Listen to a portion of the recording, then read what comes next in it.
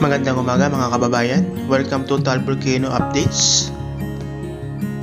By the way, I'm Motoblader at your service.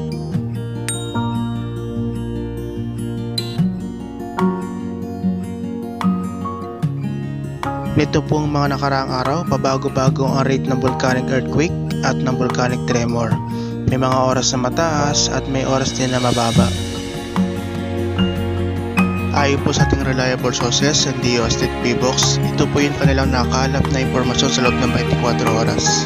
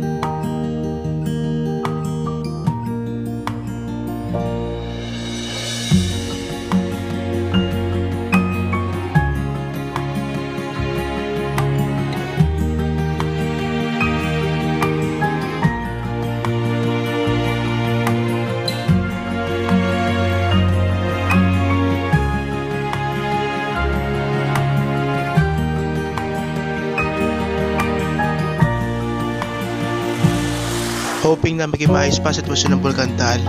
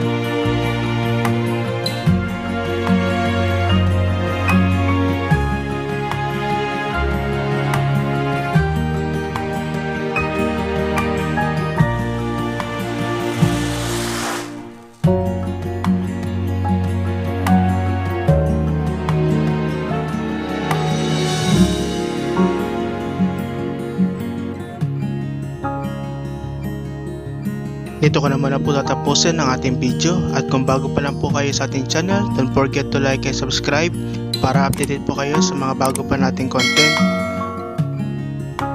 Maraming salamat po sa panonood and God bless.